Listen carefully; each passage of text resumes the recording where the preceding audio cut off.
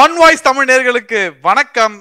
இன்றைய சிறப்பு இருந்த நம்ம கூட வந்து பாஜகவின் தமிழக பாஜகவின் பொருளாளர் ஐயா எஸ் ஆர் சேகர் அவர்கள் இணைஞ்சிருக்காரு வணக்கம் சார் எப்படி இருக்கீங்க? ஒன் வாய்ஸ் தமிழ் நேயர்களுக்கும் என்னுடைய அருமை நண்பர் நாகராஜன் அவர்களுக்கும் வணக்கம். நன்றாக இருக்கிறேன். வணக்கம் சார். காசி தமிழ் சங்கம். இன்ஃபேக்ட் வந்து பாரதிய ஜனதா கட்சின்னு ஒண்ணு உருவான போதே வந்து இந்த ராமர் கோயிலோட விஷயம் வந்து ரொம்ப ஒரு இம்பார்ட்டன்டான விஷயமா இருந்தது. பாரதிய ஜனதா கட்சிக்கு. இன்ஃபேக்ட் ம். பாரத் இந்த ராமர் கோயில் சுத்தியே வந்து பல வருஷம் பாலிடிக்ஸ் நடந்திருக்கு. இன்ஃபேக்ட் உங்க கட்சியோட ஒரு எய்மா இருந்தது வந்து ராமர் கோயில் கட்டுறது. அது வந்து இன்னைக்கு அயோத்தியால பேரலா நடந்துட்டு இருக்கு இன்ஃபேக்ட் ரெண்டாயிரத்தி இருபத்தி நாலு ஜனவரி வந்து அப்ராக்சிமேட் ஓப்பனிங் டேட் அப்படின்ற ஒரு விஷயம் சொல்லியிருக்காங்க. அதை நடந்த போது அதே அயோத்தியா சுத்தி காஷி தமிழ் சங்கமம். அப்படின்னு சொல்லி உன்னை வந்து மத்திய அரசு வந்து ஃபார்ம் பண்ணி தமிழ்நாட்டிலிருந்து பல ஊரிலிருந்து காஷிக்கு அதாவது ஒரு குறைந்த விலை அப்படின்றத சொல்லலாம். முதல்ல வந்து என்ன கேள்விப்பட்டிருக்கோம் அப்படின்னா நம்மளுடைய முஸ்லீம் அவர்களுக்கு மு- இஸ்லாமியர் ஸ்தலத்துக்கும் கிறிஸ்துவர்களின் சடத்துக்கும் தான் கூட்டிட்டு போயிட்டு இருந்தோம். ஒரு மிகப்பெரிய கேள்வி இருந்தது மக்களுக்கு. ஏன் இந்தியாலே இந்துக்களுக்கான ஸ்தலம் நிறைய இருக்கு. அது ஏன் அரசாங்கம் வந்து எடுத்துட்டு போக மாட்டேன்னு சொல்லும்போது இந்த காசி தமிழ் சங்கம் ஒன்று ஃபார்ம் பண்ணி அதுல நிறைய பேரை கூட்டிட்டு போறாங்க அப்படின்னு ஒரு விஷயம் கேள்விப்பட்டோம். முதல் கேள்வி இது அரசியலுக்காக செய்யப்படுகிறது அப்படின்ற ஒரு விஷயத்த எதிர்க்கட்சியினர் குற்றச்சாட்டு வச்சிருக்காங்க. அஹ் பாஜகவின் முப்பது மூத்த மூத்த உறுப்பினர் நீங்க நாற்பது வருஷமா கட்சியில இருக்கீங்க. இந்த மாதிரி பல விஷயத்தை கேள்விப்பட்டிருப்பீங்க. இதை நீங்க எப்படி பாக்குறீங்க? காசி தமிழ் சங்கமம் அரசியலுக்கா இல்ல மக்களுக்கா? இந்தியாவினுடைய பெருமை தமிழர்களுடைய பெருமை தமிழர்களுடைய கலாச்சாரம் தமிழனுடைய பண்பாடு ஆஹ், ஆன்மீக உறவு புராதனமான காலம் காலமாக கட்டி காத்து வருகின்ற பண்பாடு இவைகளெல்லாம் காசியோடு தமிழகத்துக்கு சேர்ந்திருக்கிறது. இதிலெல்லாம் இணைந்திருக்கிறது காசியும் தமிழ்நாடும். இப்ப என்ன பேசினாலும் அது வந்து அரசியலாக பேசப்படுகிறது அரசியலாக ஆக்கப்படுகிறது. இது வந்து அசிங்கம். என்னுடைய தாயும் தந்தையும் என்னுடைய மூதாதையர்களும் நான் வணங்குவது வந்து அதற்கு காரணம் கற்பிப்பது என்பது அசிங்கம். அதனால இந்த இது அரசியலா என்கின்ற பேச்சு அநியாயமானது புறக்கணிக்கப்பட வேண்டியது தவிர்க்கப்பட வேண்டியது. என்னுடைய பாரம்பரியத்தை நான் கொண்டாடுவதை அரசியல் என்று பேசுகின்றவன் புறக்கணிக்கப்பட வேண்டியவன் ஒதுக்கப்பட வேண்டியவன். அவன் இந்த அவன் வந்து அவனுடைய மூளையிலேயே ஒரு வைரஸ் இருக்கிறது. அவன் மூளை வைரஸால் நிரம்பி இருக்கிறது. அதுவும் வந்து இந்த நாட்டினுடைய அடிப்படை ஜீன்ஸை வந்து அழிக்க வேண்டும் என்கின்ற அந்த வைரஸ் உண்மையிலேயே இந்த நாட்டுக்கு எதிரானது. அதனால இப்படி பேசக்கூடாது. இது அரசியல் அல்ல. நான் வந்து அதாவது காலம் காலமாக இதற்கும் தமிழ்நாட்டுக்கும் எவ்வளவு உறவு இருக்கிறது என்று பல்வேறு காலங்களிலே பல்வேறு நபர்கள் பேசி இருக்கிறார்கள் அதாவது காசி விஸ்வநாதர் ராமேஸ்வரத்துல ராமநாத சுவாமி ரெண்டு பேருமே வந்து ஒருவருக்கு ஒருவருக்கொருவர் வந்து பாரம்பரிய ரீதியாக இணைந்திருக்கிறார்கள். காசியில இருக்கக்கூடிய மக்களுக்கு ராமேஸ்வரம் புனிதமானது. காசியிலிருந்து கங்கையிலிருந்து தண்ணீர் கொண்டு வந்து ராமே காசியிலிருந்து வரக்கூடிய ஒவ்வொரு பக்தனும் ராமேஸ்வரத்துக்கு வந்தான்னா கையில வந்து த- ஒரு தண்ணி கொண்டு வருவான். கங்கை ஜலத்தை கொண்டு வந்து ராமநாத சுவாமிக்கு அர்ச்ச அபிஷேகம் செய்வான் நீங்க ராமநாத சுவாமிக்கு வரக்கூடிய நார்த் இந்தியன் எல்லாம் பாத்தீங்கன்னா கையில தண்ணி கொண்டு வரும் அதை ஊத்துவாங்க. நானே பார்த்திருக்கேன் ஐயர் ஊத்துவாங்க அந்த லிங்கத்து மேல. அதே மாதிரி ராமநாத ராமேஸ்வரத்திலிருந்து செல்கின்ற ஒவ்வொரு பக்தனும் காசியில கொண்டு போய் ராமேஸ்வரத்தினுடைய நீரை கொண்டு அவரு விஸ்வநாதருக்கு அ- அபிஷேகம் செய்வார்கள். இப்படி ரெண்டுமே ஒருவருக்கு ஒருவர் ஒரு பெரிய உறவை கொண்டிருக்கிறது. பிரிக்க முடியாத பந்தம் காலம் காலமாக இன்னைக்கு ஐம்பது அறுபதுல வந்த அசிங்கம் முடிச்ச திராவிட அரசியல்வாதிகள் கம்யூனிஸ்டுகள் நூறு நூறு ஆண்டுகளுக்குள் அழிந்து கொண்டு முடிந்து போன கம்யூனிஸ்டுகள். ஐம்பது ஆண்டுகளிலே தோன்றி அழிந்து கொண்டிருக்கக்கூடிய மத கடவுள் மறுப்பாளர்களும் திராவிட கட்சிகளும் இதை பேசுகிறார்கள்.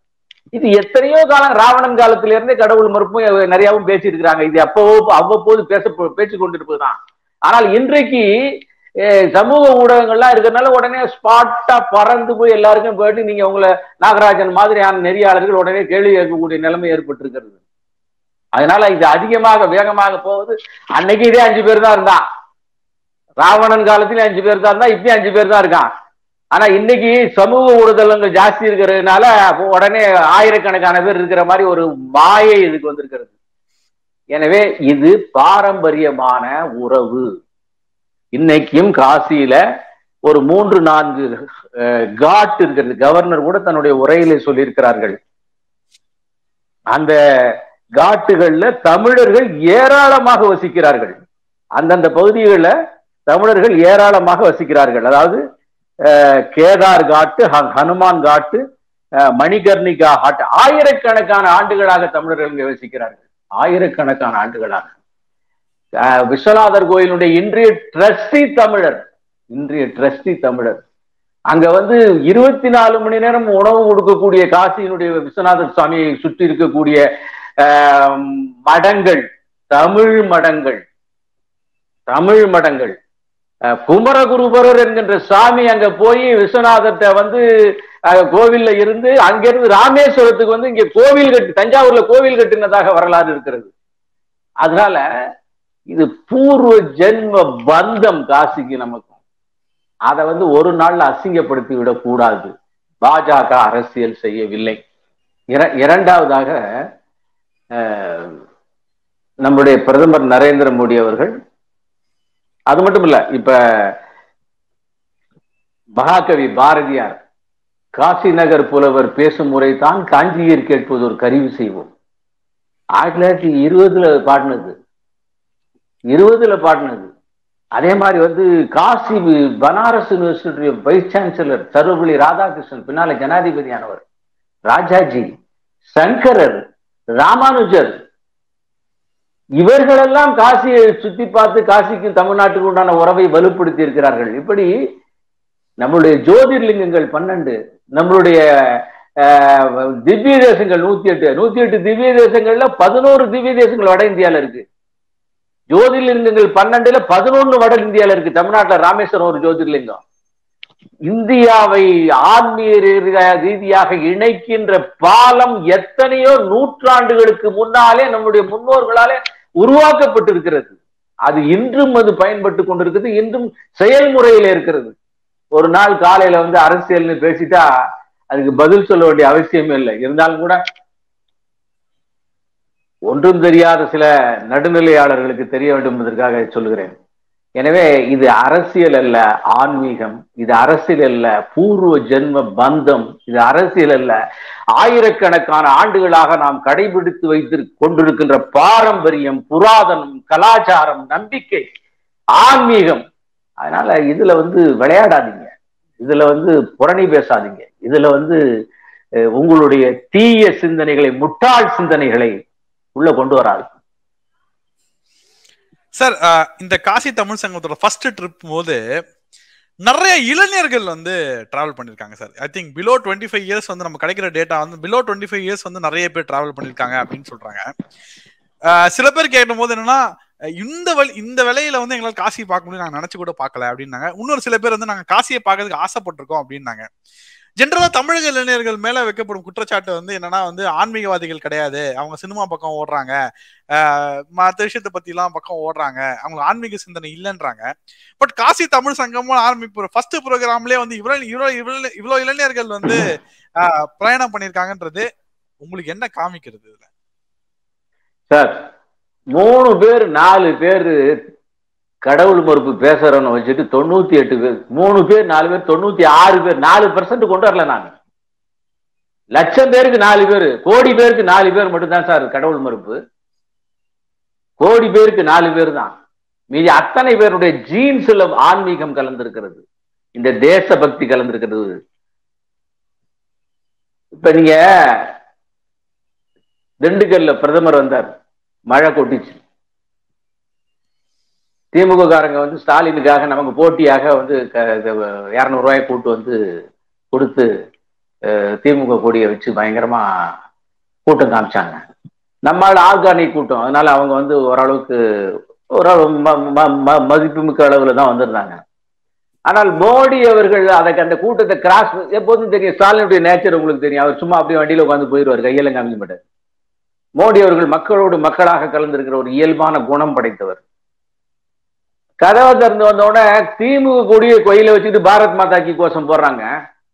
திமுக கொடியை வச்சு நீங்க எல்லாம் வீடியோல நான் போய் சொல்லல. எல்லாம் வீடியோல பார்த்தவங்க எல்லாத்துக்கும் தெரியும். இந்த நாட்டினுடைய பாரம்பரியமே ஆன்மீகம் ஆன்மீக பூமி. அதனால மாணவர்கள் ஆன்மீகம் ஒண்ணு வேண்டாம் ஒண்ணுமே வேண்டாம். ரெண்டு நாளைக்கு முன்னால ஒரு வீடியோ பார்த்தேன். திராவிட முன்னேற்ற கழகத்தினுடைய திராவிட மாடல் குடும்பத்தில் இருக்கக்கூடிய மூத்த பெண் உறுப்பினர். அவங்க மனைவி சாய்பாபா காலில் விழுறாங்க மருமகன் காலில் விழுறாரு பொ- மண் பொண்ணு காலில் விழுகுது அப்புறம் என்ன இது? சொந்த வீட்டுல இருக்கிற பொண்டாட்டியவே வந்து கடவுளுக்கு எதிராக திருப்ப முடியாத ஆளுக்கு அப்புறம் பேசுறதுக்கு என்ன யோக்கியது இருக்கிறது? அத்தனை திமுக காரனும் கோயிலுக்கு போறான். சபரிமலைக்கு போறான். காவடி எடுக்கிறான். ஆத்தாக்கு கஞ்சி ஊத்துறான். இது வந்து எல்லாம் நடிப்பு நாடகம். ஏதோ ஒரு காலத்துல கொஞ்சம் கொஞ்சோண்டு இருந்துச்சு. இப்ப அதெல்லாம் கிடையாது. மாணவர்கள் அத்தனை மாணவர்களும் இந்து மதத்தினுடைய மிகப்பெரிய நம்பிக்கை அவன் வாழ்நாளில் ஒரு நாளாவது காசிக்கு போய்விட வேண்டும். தெற்குத்திக்காரனுக்கு வடக்குத்திக்காரனுக்கு ஒரு நாளாவது ராமேஸ்வரத்துக்கு வந்து சாமி கும்பிடணும். என்கின்ற எண்ணம் அவனுடைய ரத்தத்திலே ஊட்டப்பட்டிருக்கிறது. அதனால இந்த மாணவர்கள் எல்லாம் அப்படியே என்ன எந்தூசியாஸ்டிக்கா போறாங்க? நாங்க காசி சங்கமத்துக்கு நம்ம கொண்டு போறோங்கிறதுக்காக இவனுங்களும் வந்து இந்து அறநிலையத்துறையினுடைய சார்பில் பத்து பத்து பேரை செலக்ட் பண்ணி இருநூறு பேர் அனுப்புறானா? மிகப்பெரிய தோல்வியை சந்தித்து ஒப்பாரி வைத்துக் கொண்டிருக்கிறார்கள் திமுக காரர்கள் ஒப்பாரி வைக்கிறார்கள்.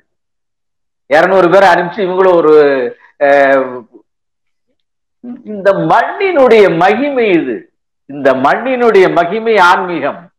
ஆன்மீகத்துக்கு எதிராக நீ போனேன்னா இருக்க முடியாது. ஏதோ இடைக்காலத்துல கொஞ்சம் ஆட்டம் காமிச்சிங்க. அதுவும் ஆட்சியில இருந்ததுனால. இப்ப இருக்கக்கூடிய உங்களுடைய ஆட்சியில ஆட்டம் காமிக்க முடியல. சுத்தி இருக்கக்கூடிய நாலு பேரு. அது அது சுபவீர பாண்டிய வீட்டுக்குள்ளார வந்து பட்டை போட்டு தான் அவங்க அப்பா அப்பாவுக்கு சாமி கும்பிட்டுக்கிட்டு இருக்காரு. அதனால இந்த மண்ணினுடைய மகிமை ஆன்மீகம் என்பதால மாணவர்கள் என்ன அவருடைய குழந்தைகள் என்ன அப்பாமார்கள் என்ன பெற்றோர்கள் என்ன அத்தனை பேருமே இதோடு ஈடுபட்டவர்கள் ஈடுபாடு கொண்டவர்கள். அதனால காசிக்கு வர்றாங்க விருப்பத்தோடு வருகிறார்கள். பிரதமர் அவர்கள் பிரதமர் அவர்கள் அக்டோபர் இது நவம்பர் மா- இது செப்டம்பர்ல சென்னை வந்தார். ஐ திங்க் அண்ணா பல்கலைக்கழகத்தினுடைய ஏதோ பட்டமளிப்பு விழாவுக்காக. வந்தாரு வந்துட்டு அவரோட ஒரு சந்திப்பு பிஜேபியினுடைய மையக்குழு உறுப்பினர்கள் ராஜ்பவன்ல அவர் சந்திச்சோம். பேசுகின்றது இந்தியாவினுடைய நிறைய அரசியல் பேச எப்ப வந்தாலும் அரசியல் பேச மாட்டார். சமூக விஷயங்கள் தான் கேட்பார். அப்ப நான் வந்து அவர்கிட்ட ஒரு விஷயம் பேசினேன் இந்த மாதிரி கிட்டத்தட்ட ஒரு அறுபது முறைக்கு மேல நீங்க தமிழை பற்றியும் திருக்குறளை பற்றியும் பாரதியாரை பற்றியும் ஏன் ஐநா சபையிலே கூட பேசியிருக்கிறீர்கள்? அப்படி என்ன உங்களுக்கு வந்து தமிழை பேசுகிறீர்களே? ரொம்ப நன்றி நீங்க பேசுனதுக்கு அப்படின்னு நான் சொன்னேன். ஆக்சுவலா ஒரு எல்லாம் சொல்லாத. நான் தமிழை பேச வேண்டும் என்பதற்காக பேசவில்லை. தமிழ் மீது இருக்கிற பற்று பாசம் ஆர்வம் எனக்கு பேச ஆர்வம் எனக்கு இருக்கிறது. அதனால இயல்பாக பேசுகிறேன். நான் தமிழ்நாட்டிலே பல்லாண்டு காலங்கள் வாழ்ந்திருக்கிறேன். சென்னையிலேயும் மதுரையிலேயும் கோயம்புத்தூர்லையும் தமிழ்நாட்டில் ஆர்எஸ்எஸ் பிரச்சாரக்காரன். இருக்கேன் தமிழ் எனக்கு பேச எழுத படிக்க தெரியாது தவிர என்னோடு சேர்ந்த என்னுடைய சக ஆர்எஸ்எஸ் பிரச்சாரங்களோடு தமிழுடைய மிக முக்கியமான திருக்குறள் பாரதியாருடைய விஷயங்களை எல்லாம் கேட்டு தெரிந்து கொண்டிருக்கிறேன். அது மீது ஒரு மிகப்பெரிய ஈடுபாடு ஆர்வம் எனக்கு. அந்த ஆர்வத்தின் காரணமாக நான் பேசுகிறேன். அதனால ஈடுபாடு ஆர்வமே தவிர பேச வேண்டும் என்பதற்காக பேசவில்லை என்று அழகாக சொன்னார்கள். அழகாக சொன்னார்கள். அது மட்டுமல்ல இன்னொன்னு அங்கேயே சொன்னார். இன்னும் ஒரு மாசத்துல காசியில தமிழ் சங்கமம் ஒரு மூவாயிரம் தமிழ்நாட்டில் இருக்கக்கூடிய மூவாயிரம் கலைஞர்கள் நடன கலைஞர்கள் ஆஹ், இ- இசைஞானிகள் அதனால அழைத்திருக்கிறேன். தான் கூட போறேன். நீங்களும் உங்களுக்கு தெரிந்தவர்கள் ஆஹ், இந்த மாதிரி எந்த மாதம்லாம் சொல்லல. ஆனா ஒரு மாசத்துக்குள்ளார வேலையெல்லாம் ஆரம்பிச்சு அடுத்த ஒரு மாசத்துக்குள்ள விஷயம் முடிகிற அளவுக்கு செய்திருக்கிறார். எனவே காசிக்கும் தமிழகத்துக்கும் புராதனமான உறவு இருக்கிறது இணைப்பு இருக்கிறது பந்தம் இருக்கிறது பிணைப்பு இருக்கிறது பாசம் இருக்கிறது. அதை இப்போது நிரூபிக்கின்ற வகையில நடந்திருக்கிறது. இதுல ஒரு வேடிக்கை என்னவென்றால் இதுல ஒரு வேடிக்கை என்னவென்றால் இந்த நிகழ்ச்சிக்கு முன்னால ஒரு இன்றைய இன்றைய செய்தி செய்திகளை பார்த்தேன் டிவியில அதுல வந்து எல்லா திமுககாரர்களும் அலறாங்க காசி தமிழ்ச்சங்கமா அவங்கள புரட்டி போட்டுடுச்சு. தமிழை வந்து வைத்து அரசியல் செய்தவர்கள் இனி அஸ்தமனம் போகிறார்கள் என்று அவர் வாயாலேயே சொல்லுகிறார்கள்.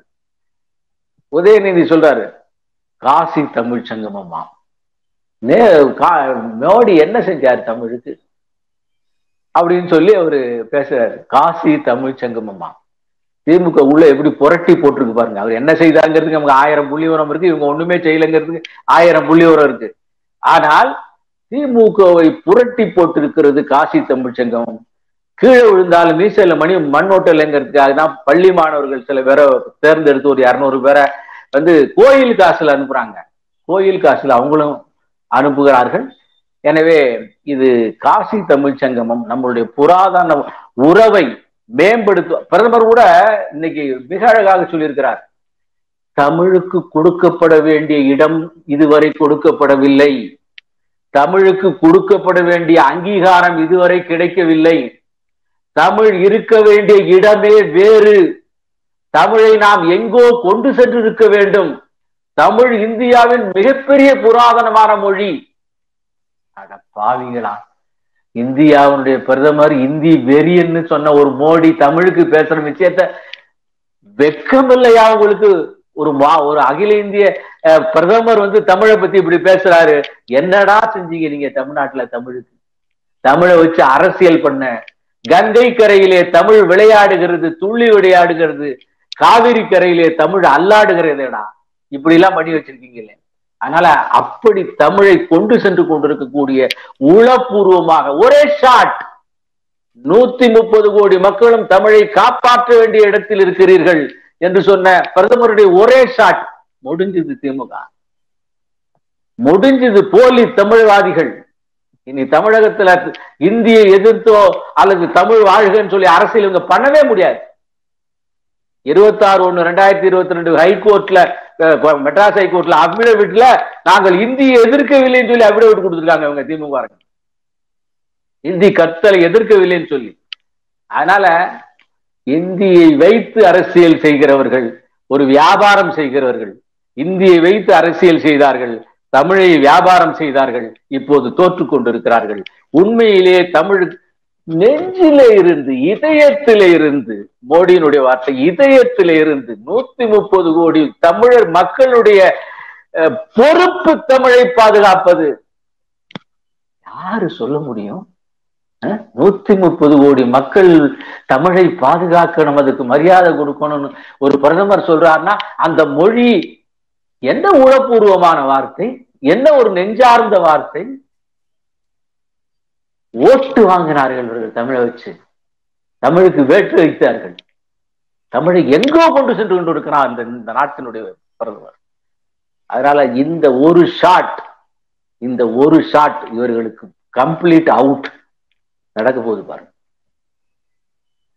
ஓகே சார் uh, இதுல கடைசியா வைக்கக்கூடிய கேள்வி கடைசியா வைக்கப்பட்ட குற்றச்சாட்டு என்னன்னா முதல்வர் அவர்களை அழைக்கல. அப்படின்ற ஒரு மிகப்பெரிய குற்றச்சாட்டு எதிர்கட்சியில வச்சிருக்காரு. இவ்வளவு பெரிய ப்ரோக்ராம் பண்றீங்க. கவர்னர் இருக்காரு எம்ஓஎஸ் இருக்காரு. அண்ணாமலை அவர்களுக்கு நீங்களாம் இம்பார்ட்டன்ஸ் கொடுக்குறீங்க. அவர் வந்து எந்த எம்எல்ஏவும் கிடையாது எதுவும் கிடையாது. ஏன் முதல்வரை கூப்பிடல அப்படின்னு ஒரு குற்றச்சாட்டு வச்சிருக்காங்க. அதை நீங்க எப்படி பாக்குறீங்க சார்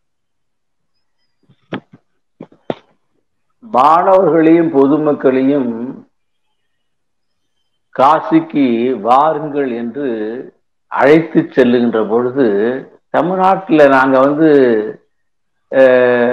அழைத்து கொண்டு போகிறோம். போட்டிக்காக போட்டிக்காக நீங்க இந்து அறநிலை சார்பில் இரநூறு பேரை அனுப்புறதுக்கு முயற்சி பண்ணீங்கல்ல?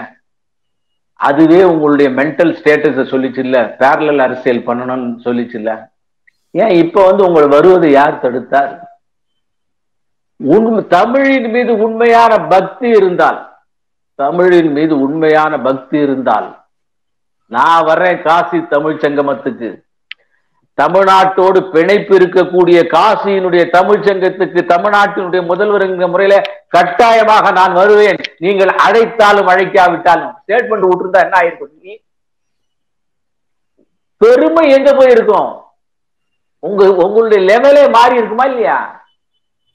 சொந்தக்காரங்க உள்ள சொல்லுவாங்க நல்லா இடிச்சு புடிச்சு பழகி டெய்லி வீட்டுல வந்து சாப்பிட்டு கீப்பிட்டு பயங்கரமான ஈசிக்கிட்டு இருப்பாங்க.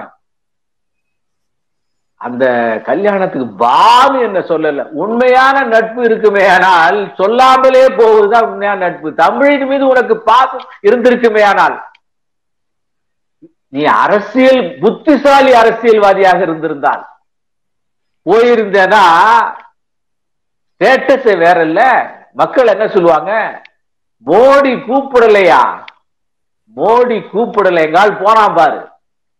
எங்காலு போனா உண்மையான பச்சை தமிழன் போனா எங்க தமிழ் பற்றி பேசினாலும் தமிழுடைய வார்த்தைகள் வந்தாலும் அங்கே இருப்பான் தமிழ்நாட்டின் ஸ்டாலின். அப்படின்னு நீங்க பண்ணினீங்கன்னா உங்க லெவல் என்ன? வெறும் அரசியல் மட்டும்தான் உங்களுக்கு பண்ண முடியும்.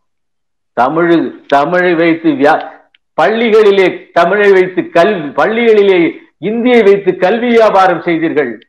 வெளியிலே தமிழை வைத்து அரசியல் வியாபாரம் செய்தீர்கள். உண்மையிலே தமிழுக்கு நீங்கள் எதுவும் செய்யவில்லை. இந்தியாவில் எத்தனை பல்கலைக்கழகத்திலே தமிழனுடைய பீடம் இருக்கிறது. எத்தனை மாநிலங்களிலே தமிழ் கற்பிக்கப்படுகிறது. இல்ல இல்லவே இல்ல. அதனால நீங்க தமிழை வைத்து ஓட்டு வாங்குகின்ற வியாபாரிகள் உங்களை கூப்பிட வேண்டிய அவசியமே இல்லை. உண்மையான தமிழ் பக்தனா தான் போயிருப்பீங்க. சார் உங்க பாணியில மிக அழகாக இந்த இந்த இந்த விஷயத்தை பத்தி பேசியிருக்கோம். இன்ஃபேக்ட் வந்து மக்கள் நிறைய பேர் வந்து என்னன்னா இப்போ ரிஜிஸ்ட்ரேஷன் பண்ணணும்னு நினைக்கிறாங்க லிங்க்ல ஆனா அந்த ரிஜிஸ்ட்ரேஷன் டைம் முடிஞ்சு போச்சு. அதுக்கும் நிறைய எக்ஸ்டென்ஷன் கேட்பீங்க உங்க சார்பில் மத்திய அரசோட கோரிக்கை வைப்பீங்க நான் வந்து கேட்டுக்கிட்டு ரொம்ப நன்றி சார். உங்க நேரத்துக்கு ரொம்ப நன்றி. நன்றி.